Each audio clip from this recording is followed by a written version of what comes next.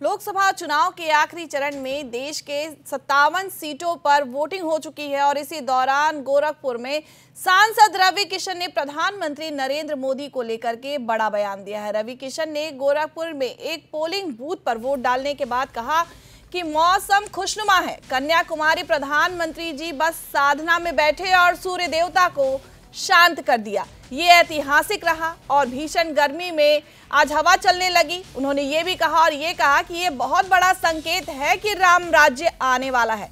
तीसरी बार भारत के प्रधानमंत्री नरेंद्र मोदी जी के विराट रूप में आने का और मेरा भारत बहुत विराट विकसित होगा।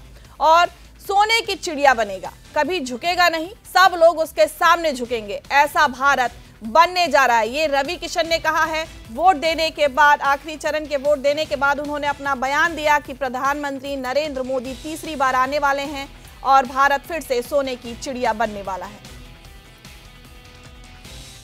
बहुत अच्छा।